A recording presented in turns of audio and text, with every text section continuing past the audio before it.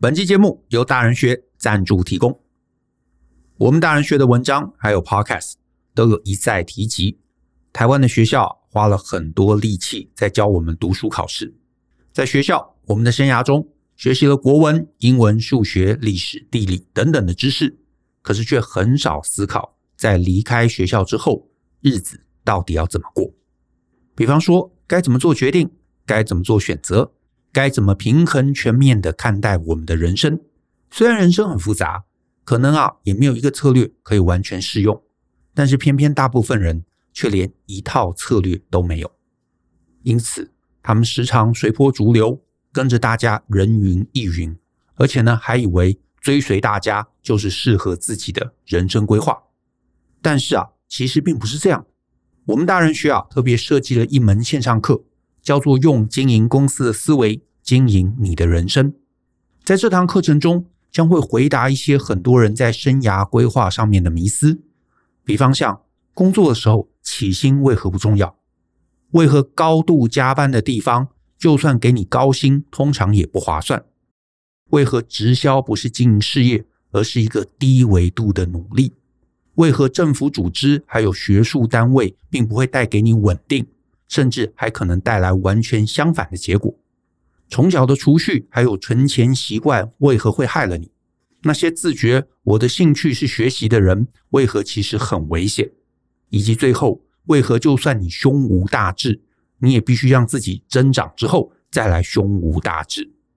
如果你觉得自己的人生有被以上这些问题困住，那么欢迎你来听这堂课，或许能够避免在人生上面。继续绕远路，欢迎透过节目下方的说明栏来观看这堂课更多的介绍。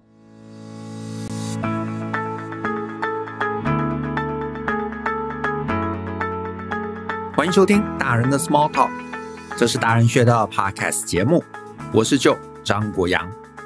达人学啊是个分享成为成熟达人必备学问的知识平台，我们长期分享职业发展、人际沟通、个人成长。商业管理以及两性关系等等的人生议题，那欢迎大家可以多多关注。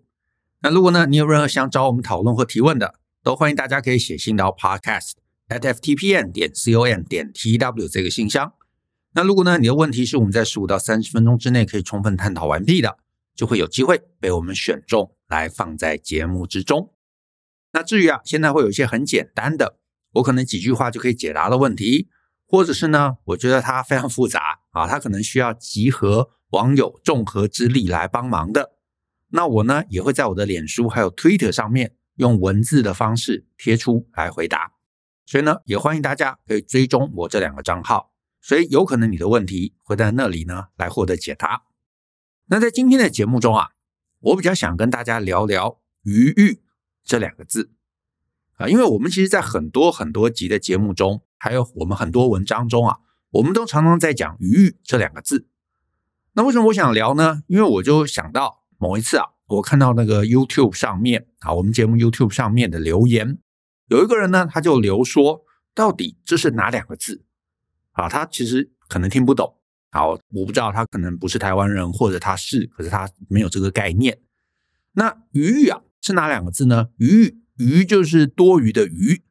裕呢是这个宽裕的裕，那如果呢你用英文啊，英文的概念，我觉得呢可能比较是 spare，或者是 slack，或者是 redundancy，或者是 buffer 啊这样的一个概念，就是呢怎么样能够让我们工作上面能够有一些呃缓冲，有一些空间，能够去应对一些不如预期的事情。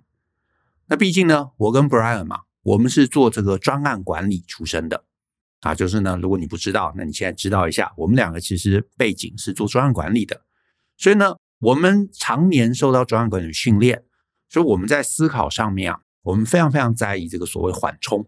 啊，缓冲，然后呢，非常非常在意这个所谓备援机制，那也很在意在时程上面啊，或者财务上面啊，或者在资源上面啊，能够多准备一些啊，多准备一些。那这个多准备的东西呢，其实就是去应对所谓的 contingency，也就是呃这个偶发事件啊、突发状况。那甚至是我们在自己公司的经营上，呃，正常可能是比方说五个人的工作，那你呢就尝试搭配六个人力。那真有什么状况，大家也都有机会可以 cover 过来，因为难保啊不会有段时间可能很忙，可能需要多一个人来 cover。那这样子你多的人力就可以来负担。那多的人力其实也没有不好，因为平常大家可能就忙八成，可以准时下班啊，大家可以学一些东西。像去年这一年 IT 很夯，那大家在日常工作以外，就会有一些时间可以来做一些研究，可以做一些这个研发等等等等。那但是呢，大家在台湾上班，你也知道，很多公司五个人的工作可能就只搭配三个人力，然后呢，平常怎么办呢？就靠加班嘛。可是呢，我们一直觉得，或者我们其实从专案学到的教训或者学到的经验，就是这其实在经营上面是不利的。你可能省了小钱，可是你将来会花大钱，因为你只要经营上出了一个什么意外，那就可能会惨赔，甚至大家可能你知道忙不过来，然后觉得生活没有品质，他离职了。你要找新人，你要交接，你要确保服务可以回到原来的品质，那个其实可能都是你知道不值得这个部分的。那财务上面其实也是同样的概念啊，就是你做一个专案，这个专案你估算你要一百万。但是你实际上手上可能尽量准备个一百二十万，那你就会安全很多。因为呢，没有人知道实际会发生什么事情，可能进度不如预期啊，可能出了一些什么意外啊，可能有错啊。总之呢，你手上多准备的这二十万，就能拿来应对变动，拿来呢保护自己。这个概念就是我们讲到的余裕。那我知道这个概念在工作上面对大家来说可能没有太复杂。啊，可是呢，有些人可能就会想说，那这个在个人的人生上面，到底具体代表什么意思啊？因为我们其实，在非常非常多的集数里头，我们其实跟个人讲的都是余欲、余欲、余欲。所以呢，我相信一定有些听众心里就想，人生到底是能有什么余欲，或者余欲到底代表什么意思？也因此啊，在这一集，我觉得可以用另外一个角度。我再回头来跟大家来解释解释余欲跟个人跟人生之间的关联。那事情是这样，就是我最近啊在看 Netflix 上面有一个韩国的实境秀，叫做《魔鬼的计谋》。那这一部其实我觉得蛮有趣的啊，我有一些想法。那有一些想法我也不确定适不适合讲，可是今天啊我要讲的，我觉得是适合讲的，就是老少咸宜，大家都可以听的。那呃，其中有一段情节，我觉得刚好可以拿来在我们今天的这个议题中，呃，当辅助说明。如果你还没有看过这个节目，哎，我个人是觉得你可以去看啊，你有 Netflix，你可以找来看。我是觉得还蛮有趣的啊。然后呢，这整个实境秀又很精彩，它其实是还蛮值得一看的一个剧。所以呢，如果你有兴趣看，或者这个剧本来就在你的这个看片名单中啊，那我建议你可以先去看。看完再回来听，哎，搞不好你的感受会最强烈。那如果呢，你一下没有打算要看，因为呃，我忘了十集还是十一集啊，其实也是有点长。那你如果没想要看，你是可以先把这一集继续听完呐。因为我接下来讲的内容，我会呃努力在情节上面不爆雷。所以呢，你听完这一集，你有兴趣，你还是可以去看。因为呢，结局或者是中间的一些比较重要的情节，你还是不知道的啊，你还是不知道的。那在《魔鬼的计谋》啊这个呃剧中啊，倒数第二个游戏，它是一个有点类似这个德州扑克这样的一个玩法，就是呢，大家坐在桌的边缘嘛，然后会有一个庄家来发牌，然后每一个玩家都会拿到几张牌，然后拿到牌。根据你手上的牌，就是有些牌是只有你看得到的，有些牌是公开，大家都看得到的。然后呢，大家就来各自下注。那只是呢，每发一张牌，你可能就要决定要不要下注。那只是呢，这个游戏可能比呃正常的德州扑克还要复杂一点点的地方，就是呢，它需要你把你手上的牌，就是按着自己看到的，还有大家都看得到的，透过呢加减乘除，还有开根号。然后呢，把这些数字牌跟这个符号牌啊重新排列，要么你就是很接近二十啊，就是加减乘除之后，呃，很接近二十，或者是呢加减乘除开根号之后呢，很接近一。举例来说，假设我们今天一起来玩，同一桌有五个人，你除了看到自己的牌，你要计算我怎么样能够最接近二十或者最接近一，然后来决定要怎么压住。就是你还要看你其他同桌的那些对手，他们显露在外面你看得到的符号，你看得到的数字，然后去猜到底他会想要把它组成二十还是组成一。因为呢，大家最后都可以自由选择要压大，就是压二十或者压小。可是呢，因为每个人最后的组合排列的方式可能不同，所以如果你运气很好，刚好，比方说同桌的人大家都想要压小。可是呢，只有你压大，哎，那你就没有竞争对手。可是呢，如果大家都想压小，你也想压小，假设最后是三个人想压小，结果呢，A 算出来它的牌面啊，加减乘除之后是可能三点二，B 呢可能是一点三，C 呢可能是零点八，那最后就会判定 C 赢，因为 C 的零点八离一啊只差零点二，所以是最接近一。所以你可以发现啊，你可以发现，你不能只看着自己手上的牌，你不能只是想说，哎，我要怎么排列组合啊，我怎么样对对有利，你还要看别人啊，看他们怎么排列，然后来决定自己要组大还是组小，要压大压小。最理想就是大家都压小，只有你压大，对不对？那你就自然而然会赢，因为呢，呃，比方说你压大，你组个什么十二。离二十很遥远，可是因为没有别人也压大，那你其实就是最接近的，你就可以呢拿到对应的筹码。那剧中啊，当然就有各种斗志啊，各种竞争啊，各种合纵连横。那这个部分我觉得很精彩，可是呢，我今天不讲，我就留给大家去看。我今天比较想讲的是啊，这个游戏其实非常像我们大部分人面对的人生。你说，哎，这这怎么说呢？也是这样，就是啊，你假设在这个游戏中，你要赢，其实你要涉及到好多不同的面向。第一个，你要有基本的这个技术能力，对吧？而且你要算得快，所以你拿到牌面的时候，你可能就要去想，哎，我可以有哪些这个排列组合？怎么样可以接近一？怎么样排可以接近二十？然后到底是比较接近二十，还是比较接近一？再来呢，你也要看。别人打算怎么选择？因为如果大家都选小，你选大，就算你的组合比较差，你也会赢。可是呢，大家都选小，你也选小，可是你其实你知道，呃，没有办法那么逼近一，那你可能还是会输。所以你还要懂得隐藏，你还要虚张声势，对不对？明明你要压小，然后你说，哎，我来压大看看啊之类的，去误导大家。所以你就必须。脑子很清楚，要能够算得快，或者是呢牌天真自然就超好，那你当然在这个竞争中就会比较有优势。那前者计算的快，排列组合迅速的去做整理，虚张声势这些，哎，这可能是你的技能。可是呢，牌好不好，这就是运气。哎，没错，游戏要赢，其实运气是占一定的比重，而且你认真去想。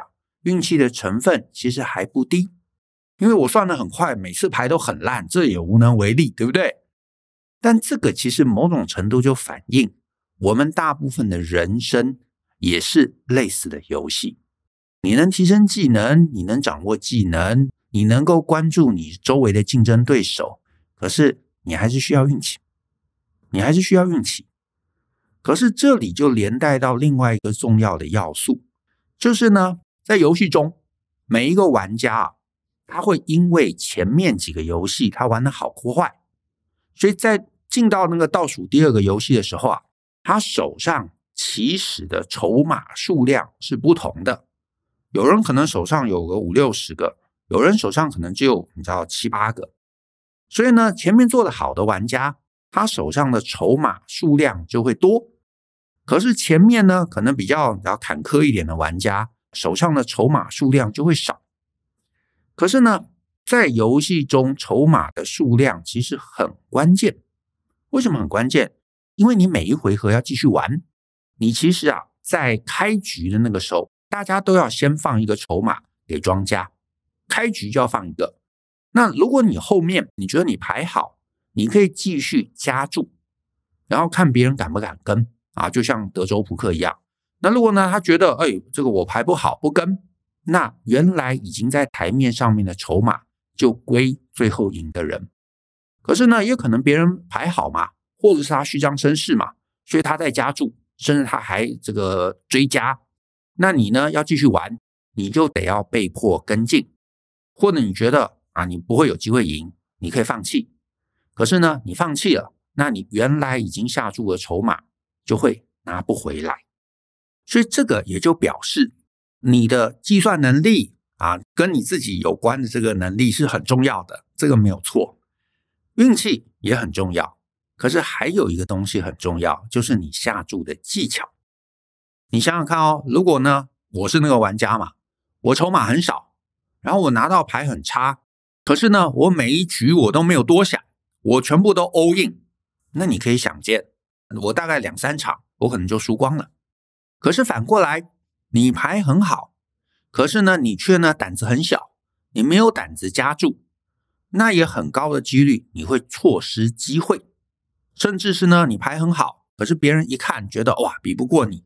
中间全部都中途放弃了，你可能最后呢好不容易拿了一个好牌，可是赢少少的，那这样就会很惨。你如果好牌赚的少，坏牌赔的多，那这样子到最后当然结局就不会太好。所以你看，听到这边你大概就会发现哦，这是一个需要思考、需要技巧、需要执行力，但是呢运气成分其实也占很高胜负关键的游戏。而且呢，你还要看牌面、看局。看大家的一个压注的方向，所以呢，你选一个人少的地方，那就算你牌没有很好，你可能也会赢。你细细想想啊，其实我们的人生，你不觉得非常类似这样的一个游戏吗？你的技巧很重要，你的知识很重要，你所处的环境，也就是你周围还有什么玩家，你的运气，这些其实对我们人生结局。都会起到很大的影响，很大的关键，而且运气尤其是一个关键。我猜有人听到这边可能会想：哎，运气，大人学不是从头到尾都在谈增长吗？那讲到运气，不就跟增长无关了吗？不是，不是，不是，增长跟运气其实是一体两面的。你说是什么意思？哎，是这样子，增长不是说你学了一个技能。啊，我去学了一个什么什么 Python 的一个这个 programming，哎，我就会成功？不是这样的，不是你增长，不是你学东西，不是你变聪明，你就会成功。增长努力半天的目的是为了让我们能够把握运气。好，意思是这样。我们的人生跟这个游戏，我觉得最像的地方，就是你每一局你能拿到的牌是随机的。你每天来上班，老板交代给你的工作。哎，有可能有些是好工作，有些是差的工作，对不对？或者是我不要讲上班，我就是出来找工作，可能有些工作是好，有些工作不是那么好。所以呢，它其实有些东西是有这个呃机运的问题在里头，是有随机性的，是有好运跟坏运的。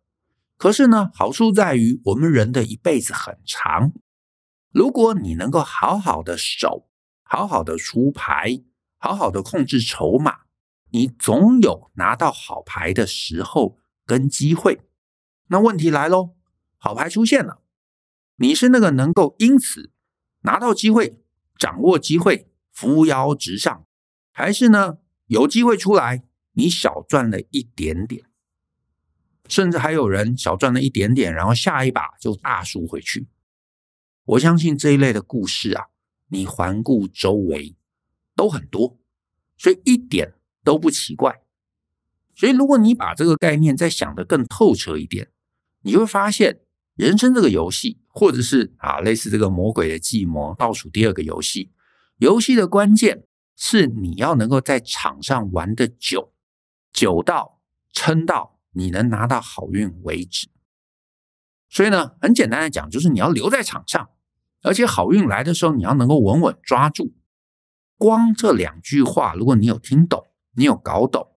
我觉得你的人生在接下来的三十年、五十年，你已经立于不败之地了。这其实也是我自己花了好长的时间，我领悟的一个道理。你要让自己留在场上，等待好运，而且好运来了，你要能够稳稳抓住。那你要做到这一点，其实就回头来讲哦，游戏中的筹码多寡。这其实就是我们常常讲到的余裕、余裕、余裕。因为刚刚讲到嘛，游戏中每一回合一开始，你都要最少下一注的筹码。那如果你手上筹码多，你就会有余裕，可以慢慢等机会。你可以优雅，你可以气定神闲，你不紧张，你不害怕。这个我一直觉得其实是人生成功的关键。因为呢，牌是随机的嘛，机会是随机的嘛，运气是随机的嘛，不表示每一次你都会碰到大牌。可是呢，如果你手上筹码少，你就会发现你别无选择啊。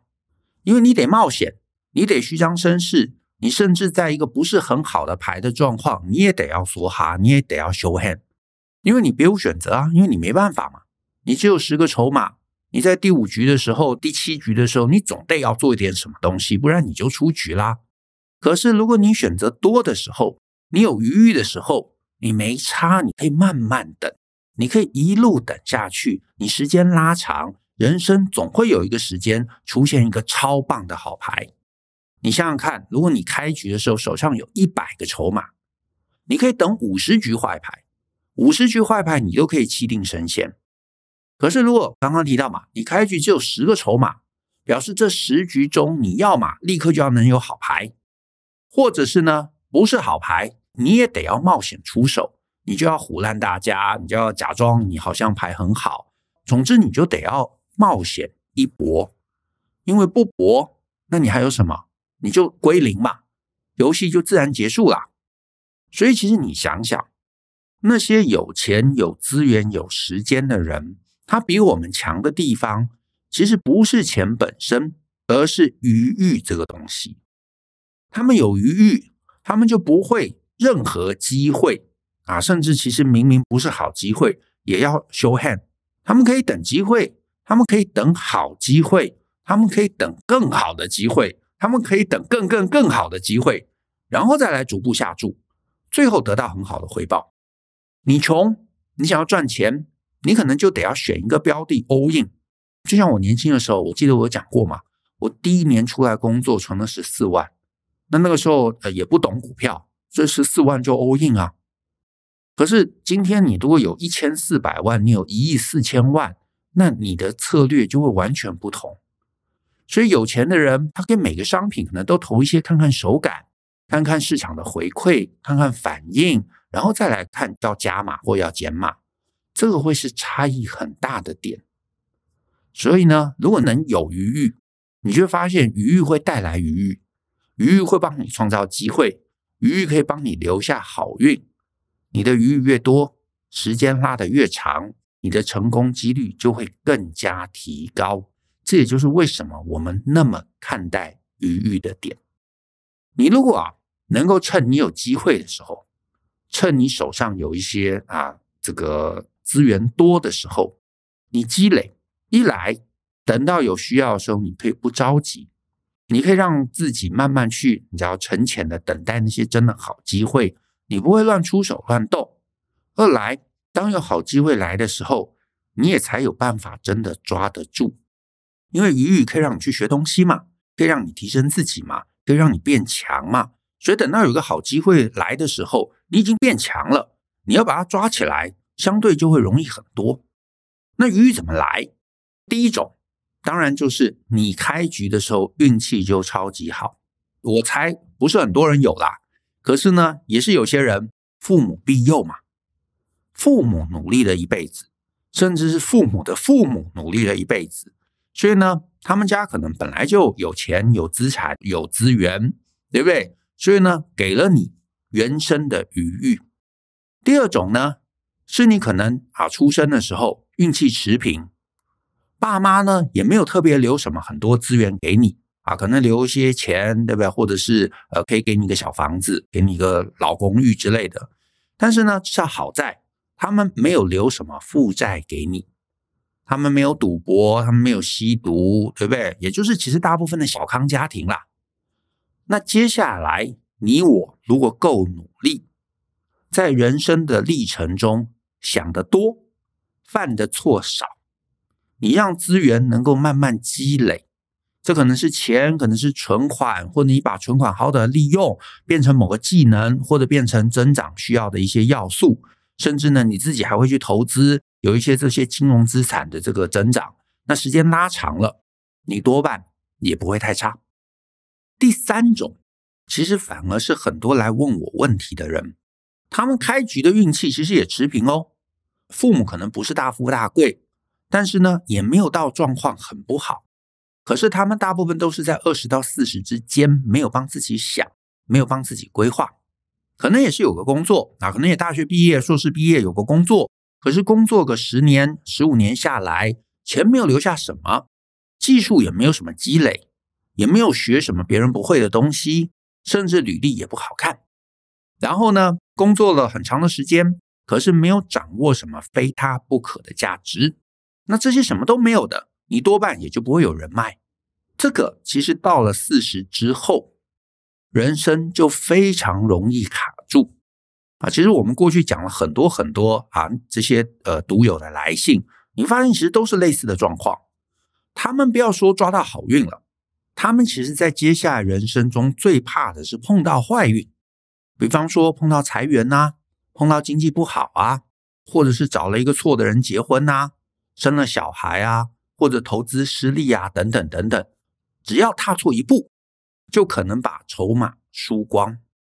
而筹码输光，因为手上筹码本来就很少嘛，就像在那个游戏中，别人可能有五六十个，你只有五个，那只要你一步走错，你的筹码就输光了，输光就会再也没办法翻身。那当然。还有第四种啦，就是你开局的运气就很差，父母呢不但没有留什么资产，可能还造成你很大的累赘，会跟你拿钱，会情绪勒索，然后呢，可能呃家里的这个各类冲突不断，你呢出来工作，那工作可能也没有赚很多钱，你还要拿出很大量的这个孝亲费给家里，那这个当然就表示你手上的筹码更少，那就得要更仔细规划。所以，我们之所以会在意余裕，会常讲什么人生筹码什么之类的，其实真的也就是每个人开局不同嘛，每个人的运气也不同嘛。所以，以至于你到了今天啊，你会听我们节目，我猜可能平均也是二十五到三十之间，你手上的筹码多寡也不同。你运气好，筹码很多，那当然很棒。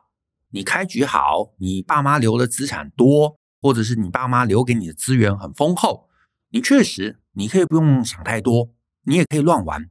你是一个什么二代，对不对？家里有很多房子，那不管你是什么挥霍也好，躺平也好，搞不好就算都没有做对什么事，也足以过一辈子。像那个游戏，有一个人他一开局手上有十万个筹码，那就算他一场都没有赢过，只要他不犯错，不要大输，那其实他是可以稳稳的玩十万次的嘛。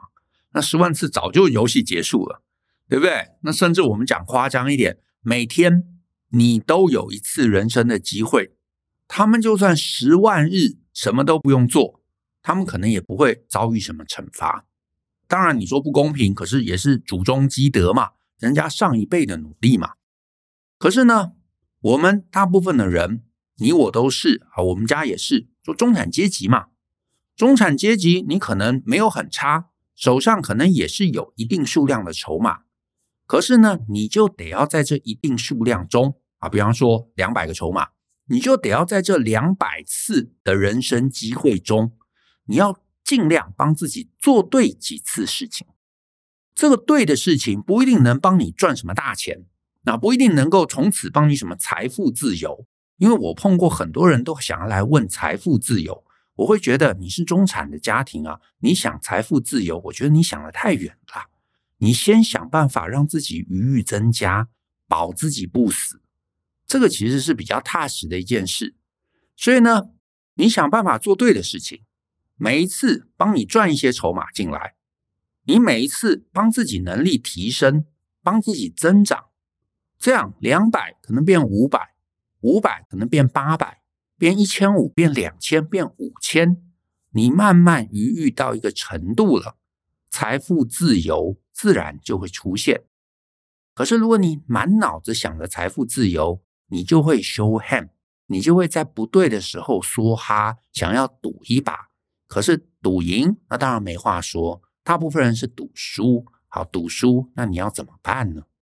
这其实也是我们自己，不管在 podcast、在文章或在很多课程，我们都在讲增长。这其实也是我苦口婆心啊，跟 Brian 常常会建议你，如果你还年轻，你四十以下，如果可以啊，你收听我们一段时间了，真的很良心建议你来上几堂谈游戏规则的课，职场大人学。恋爱大人学，用经营公司的思维经营你的人生，还有呢人生难题的系统思考法，这几堂，我觉得对很多人最大的帮助是，他先告诉你，你到底在玩什么游戏，这个游戏胜怎么样可以胜，什么样叫做好机会，什么样是不好的机会，你在游戏中你该怎么压住，你才能多赢少输，你就算输，你也不会大赔。你甚至你该压注在哪里？因为很多我们从小直觉以为对，但其实根本是错的地方。你跟我们一样是中产家庭，你其实非要知道游戏怎么玩，你才能够在一开始一开局就最有效的用你的筹码。我们筹码少的人，犯错的空间就少。你有一百个，你下错十个，你还有九十个，对不对？你还可以再等九十回合的好运。可是呢，如果你手上只有十个，只有二十个，你就算不犯错，你也只有十次、二十次可以等待好运。更何况一开始玩游戏大家都不会，你一定会犯错。那犯了错，你手上的资源、手上的筹码更少，你就会让自己越来越接近卡死的状态。可是呢，你也会发现呢，很多人他都想要靠自己来试物，然后呢，非要到最后才发现，我其实游戏根本玩错了。明明这个游戏是德州扑克，可是你完成捡红点，那其实最后就算你知道了，手上没有筹码可以下注了，人生的机会也就耗光了。所以呢，如果你一路听我们的节目，你会发现，我们总是希望大家第一件事情要先学看懂局。你看懂局，你就会懂游戏规则。第二件事情就是我们常讲的相信思考。再来第三件。勇于改变，你知道怎么做，你就要去做嘛，而不是只是说啊，我将来有一天。所以勇于改变。再来第四件事情，保持余裕。你改变了，你可能就会收到一些东西。这个余裕可能可以让你资产上面积累，可以让你技能上面积累，可以让你人脉上面积累，可以让你得到更多好机会，这才会杠杆。然后你让自己持续有意识的保持增长，做对的事情。最后有一天好运来了，你才能够真正抓稳，才不会把日子过坏。所以最后最后最后，我的良心建议真是：你如果不是那种很机敏的人，你过了二十五岁，如果你觉得对这个人生这个游戏啊，还是有一种茫然，对于职涯规划还是有一种茫然，家里跟我们一样也是中产，不是那种筹码丰厚可以让你任意挥霍的人。那我真心建议你到大人学报名网站看看下面这几堂课，代号啊 S 零零三，寻找天赋与热情的系统化做法。；S 零一二，人生难题的系统思考法。；V 零一八，用经营公司的思维经营你的人生。；A 一零一，经典的职场大人学；A 一零二，经典的恋爱大人学。这几堂课程，我觉得是你二十几岁最值得投资的课，因为你可以避开犯错，避开耗损手上为数不多的筹码。人知道怎么玩游戏，才能持盈保泰，才能让自己有捕捉好运的余裕。那我们今天的节目就到这里，谢谢大家的收听。那如果呢你喜欢我们的节目，欢迎分享给亲朋好友。尤其欢迎大家在节目下面留言给我们一些鼓励，我们一起相信思考，勇于改变，一起来学习成为成熟大人的各类学问吧。那我们下次见喽，拜拜。